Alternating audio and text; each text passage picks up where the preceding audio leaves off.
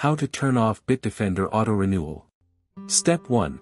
Open your browser and search store.bitdefender.com slash myaccount slash. Step 2. Type the email address of your Bitdefender order, then click on Send Access link.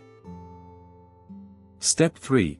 You should receive an email from 2Checkout Now Verifone, shortly. Open the email and click on the provided link within one hour. Step 4. The link will open a new tab in your internet browser. Click Continue when prompted. Step 5.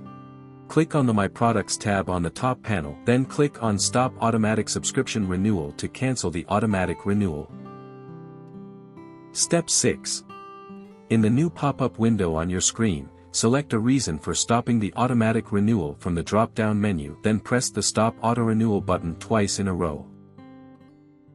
Step 7. The automatic renewal status will update. You will also receive a confirmation email shortly about the cancellation of Bitdefender auto renewal.